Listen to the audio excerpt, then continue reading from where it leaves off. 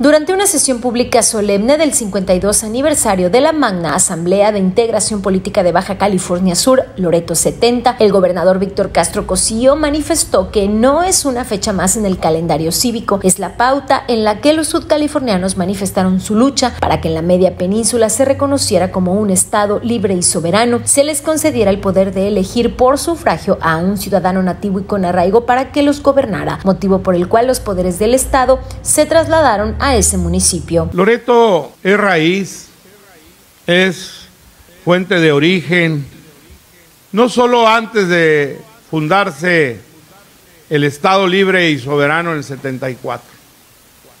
Loreto tiene para su California una fortaleza enorme. Loreto es ejemplo de resistencia.